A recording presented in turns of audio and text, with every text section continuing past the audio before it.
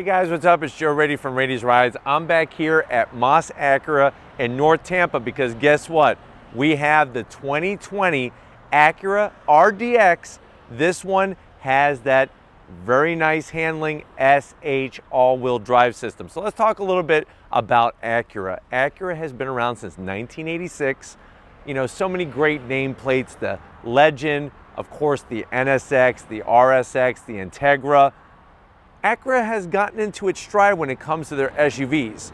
There is the larger MDX, this being the RDX is a little bit smaller. Now, one thing that's great about the RDX is that it has received a lot of the new philosophy from Acura, which is this precision performance, not only to the outside, not only underneath the hood, but definitely on the interior of this RDX. But why don't we go ahead, let me take you around this 2020 RDX and show you, hey, for a smaller SUV, does this really check off all the boxes for sport, for versatility, and for also that fun factor? Right off the bat, I really think that's so smart what Acura is doing with its styling. They've cleaned things up a, a lot.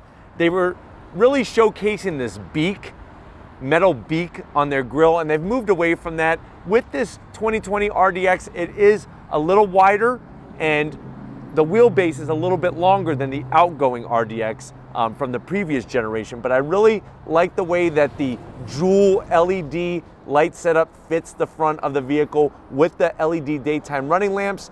We work our way down. Now the good news is this isn't functional, but it actually channels the air into these side air curtains. This, not being an A-spec, has some different touches compared to the A-Spec that we've already featured on Raiti's Rides, and I'll put that at the end of this video so that you can see the comparison of the two. With this standard RDX, you get the chrome trim, very tasteful, very simple, very clean. We come across to that front grille. Now this is what I was tell telling you about. Used to be this like beak shield thing. They got rid of that. You have the massive Acura logo in the center, and then look at how the grille design kind of just flies away from that center um, iconic emblem. I think that that's super smart. It's gloss black. This is a uh, diamond performance grille design. I like the way they brought the chrome from the lower corners onto the center area. And with the black, it really stands out really well. Now, as you come down, you do have flat black and a different design on this lower grille portion, but it is flat black and it's gonna take a beating a little bit better than the, than the gloss black. I don't know if you can notice on camera, but you do have the intercooler behind you. Remember, this has a detuned version of the Type R motor underneath the hood. But from one side to the other, very, very clean, very unique, and really that Acura precision to it. One thing I really love about Acuras, especially on this one, if you notice, you start from the front here, up onto the hood, you have a nice little peak kind of fouls ever so slightly to the back of the uh, hood near the windshield. And then you have these larger kind of curves on each side. Really gives it a nice flow. I, I like the, the design philosophy and I hope that they continue this into all of their vehicles. As we come around the corner, you can see how the headlight housing kind of melds right into the uh, fender. You got the Acura name there. We drop down and then I'm liking the wheel design, especially like I said, with this black RDX. I picked this one on purpose because I really like the style of it, but you have your machined aluminum finish, uh, a light silverish gray, and this is a 19 inch wheel. So they did a really great job. Rotors are ventilated, simple, clean look. I think it really just checks off all the boxes. We go down the side of the vehicle. You can see how they take that LED turn signal design with a little bit of chrome in there all the way around the housing. And then for a roof design, you can see I'm six feet tall, and the roof on this RDX is actually at a really great height. Um, if you ever do need to attach anything on top, if you're gonna carry a mountain bike or something like that. So I really think that that's smart. With the fender here, you can see how the body line goes right into the door, and then you have a lower belt line that starts sort of mid-door and then rises as it works towards the rear of the vehicle.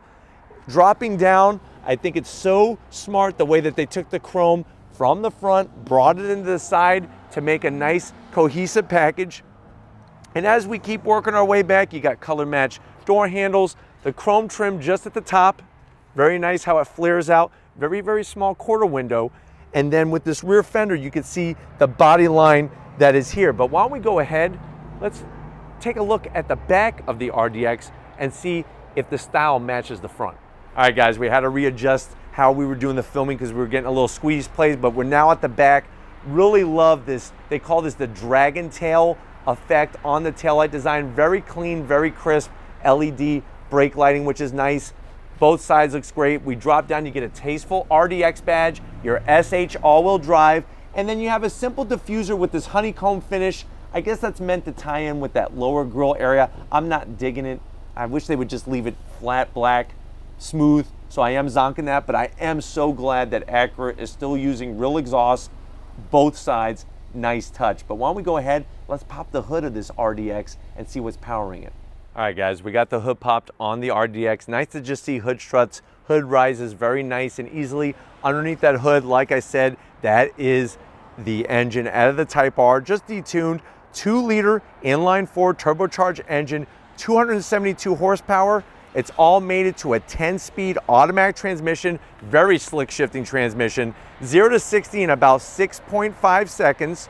This one has the optional SH all-wheel drive to get the traction to the ground. It weighs in around 4,019 pounds. MPGs, 21 in the city, 27 in the highway. You're not gonna be able to tow a lot with this vehicle, but I don't think that's the purpose of it, but you can tow up to 1,500 pounds with this RDX. Underneath the hood, it's clean, the engine cover is tasteful, but why don't we go ahead, fire up this Acura RDX and see what it sounds like.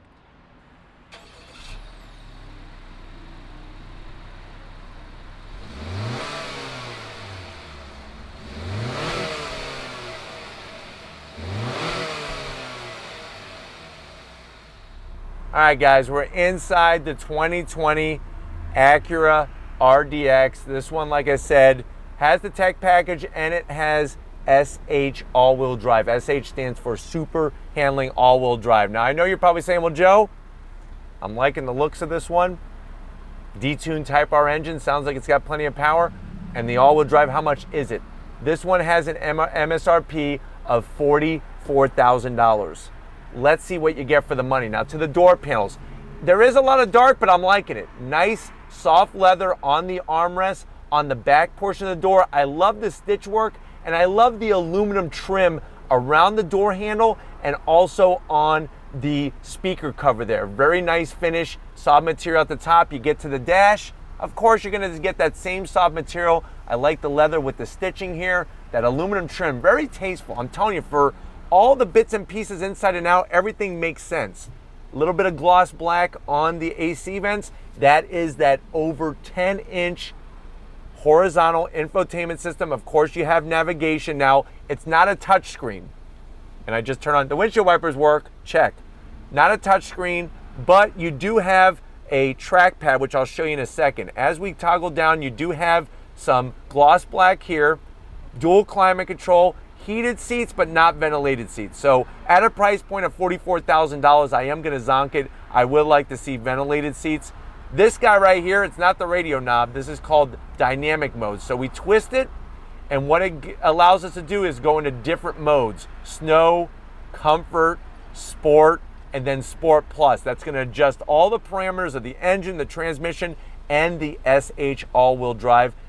Once you come in here, you're like, oh my God, there's buttons everywhere. I promise you, it's not as bad as you think. You have your push button here for the 10 speed. I do like where the gloss black is and the silver trim. Very, very tasteful. Almost looks aluminum start stop button. And then this is what I was telling you about with the trackpad. Now, if you are concerned that this may be like some of the other brands, which I won't mention their name, but one starts with an L, as being cumbersome and annoying, no. This is actually really easy to use. It tracks your finger very nicely. You can get to home. And as you see, it's, it's almost like touching the screen. You touch exactly where you want the cursor to land. It's not an actual trackpad like in some of those other brands. So that makes it easy to use. Another feature that I like about it is that you have a side trackpad as well, uh, which is the same thing. So you could actually display different things on the right hand of the side, right side of the screen, like our navigation there, or you could go back to the full layout like that. So very nicely done. And as you can see, you have this main one and then the smaller one on the side, but it's not a mouse style pad. It's you literally, if you want to touch up in the upper left hand corner, you just touch in the upper left hand corner there and it actually lights up. So very, very smart by Acura. And once you practice, practice makes perfect and it works great. I like the palm rest. Let me drop down and show you what's going on down here. So they got you covered USB and an aux jack and a 12 volt and this nice little cubby storage area to put your phone or your box of Twinkies or cupcakes or whatever else you have. This is one of my favorite parts. Very nice aluminum finish on this sliding cover for the center console. You open it up, you got two cup holders, another place for a phone, or this is a perfect Twinkie holder here. You, sta you stand them up and you can just go one, one by one.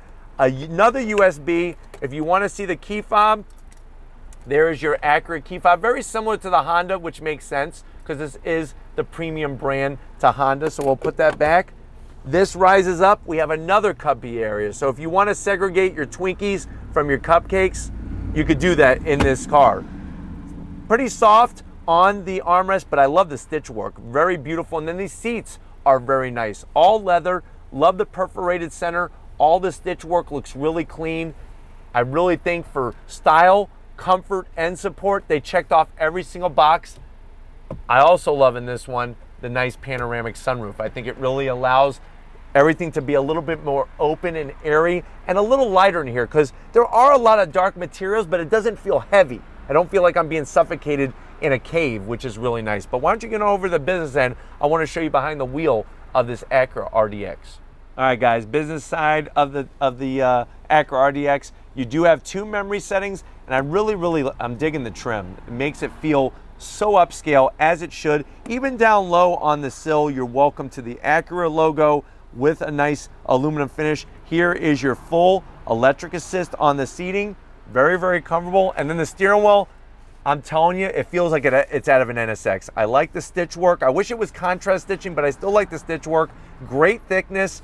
The horn button is very attractive with the Acura logo. You have these nice thumb controls that allow you to go through all sorts of different information in that center screen. And I'll show you the dash there. You have analog tach, analog speedometer, but they're so tasteful and they look so beautiful. And then the center there, you have this really nice digital display. Look at how I can scroll through all sorts of information, a plethora of information there, clear graphics. You do have paddles for the 10 speed. They are a little on the smaller side and they're kind of like a really cheap plastic feel. So I am gonna zonk that, but I do like the finishes. Look how they put the nice aluminum looking finish on the ends of the stocks.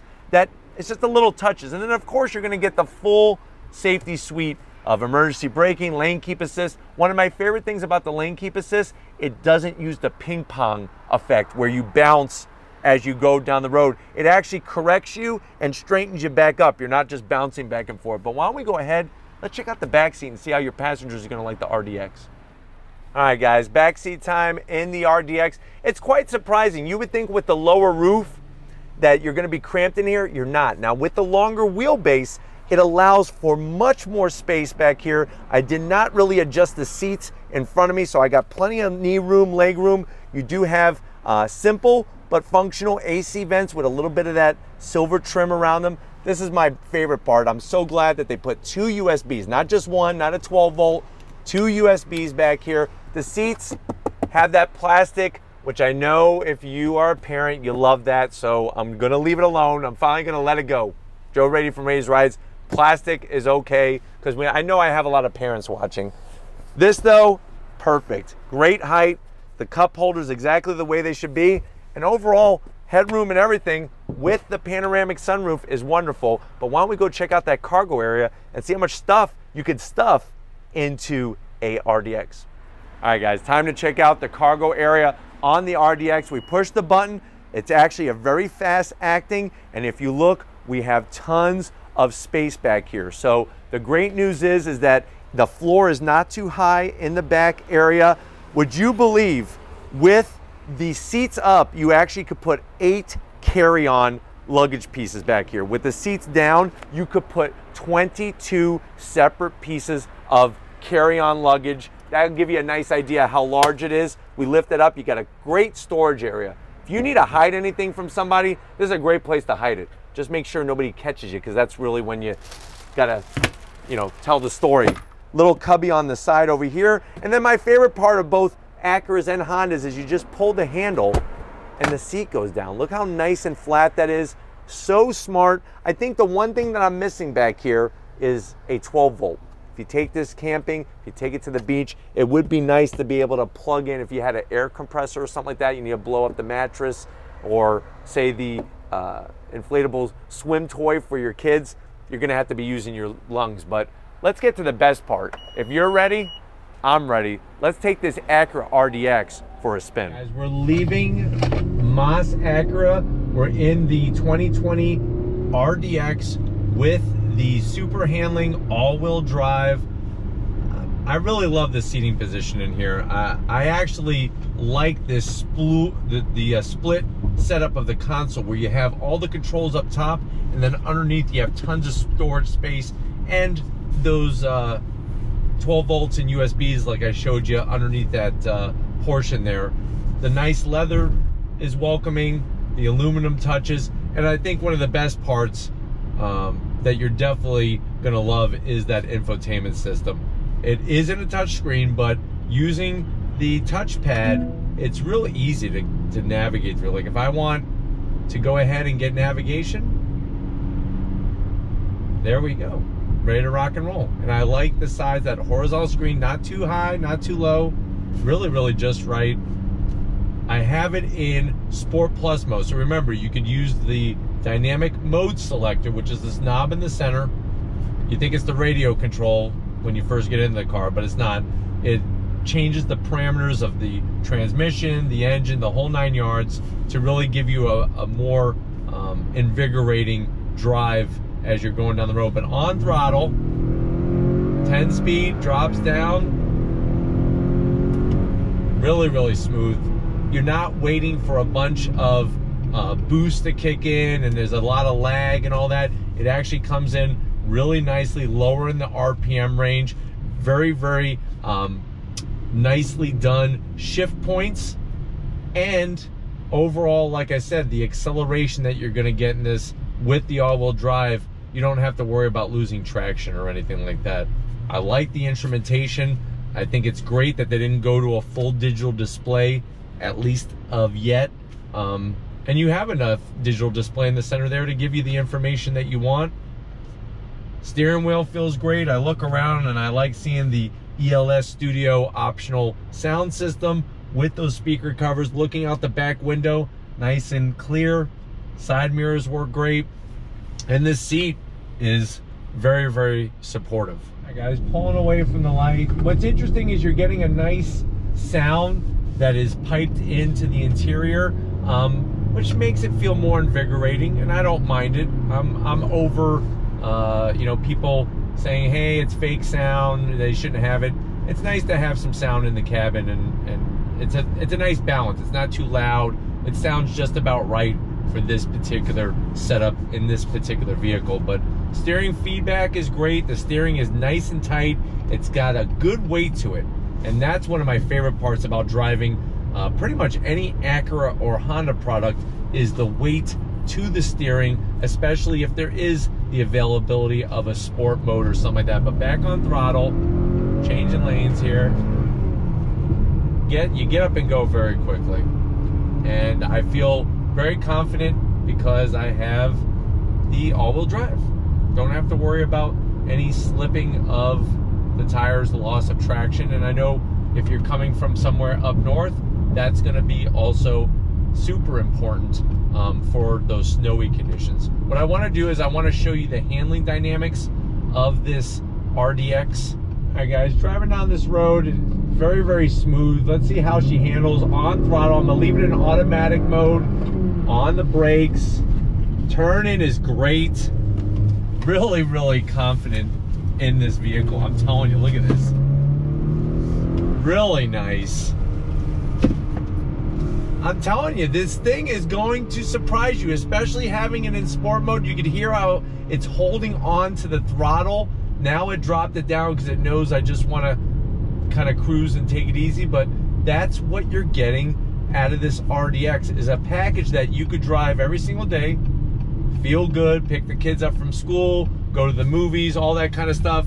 But then when you want to turn up the wick, you can. All right, guys, like I said, you know, the benefits of this vehicle is that it's so multifaceted, which is really wonderful. Even over the ripped up section, it's nice and smooth. But boy, when the road gets twisty, watch this. This is in an RDX. Here we go. On the brakes, into this left-hand bend, back on throttle, decreasing radius, so it's gonna tighten up that all-wheel drive. Really, really nice great feedback to the wheel. The chassis feels very balanced and there's not a lot of body roll, which is amazing in any SUV, especially in this RDX. Um, and then at the end of the day, you could cruise on the highway, just sit and relax and, and get to your destination. Or if you choose, you could also use the smaller paddles on the back of the steering wheel. But hopefully this gave you a nice overall feel of what the RDX is all about. Lots of versatility, lots of sporty performance. But I'm gonna go ahead and wrap this up and get back to Moss Acura. So I'll see you in a split second. All right, guys, been another wonderful time here at Moss Acura. I definitely got to thank Carlos, Albert, Ricky, and the rest of the crew. Of course, David Ma uh, Moss and David Moss Jr. for allowing us access to this 2020 RDX.